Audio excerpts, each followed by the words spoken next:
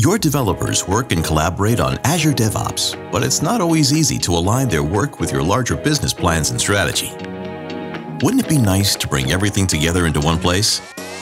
Now you can, with a new two-way Azure DevOps and Monday.com integration.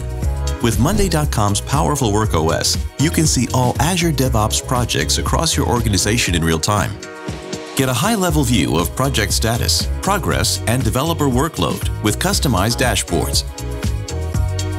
Connect your project, epics, features, tasks, and tests across platforms with easy-to-create no-code recipes. Measure, view, and present everything your developers are working on, both standalone and against larger company goals.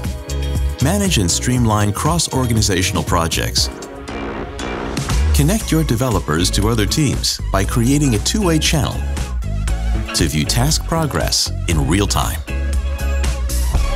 Assign and collaborate with stakeholders.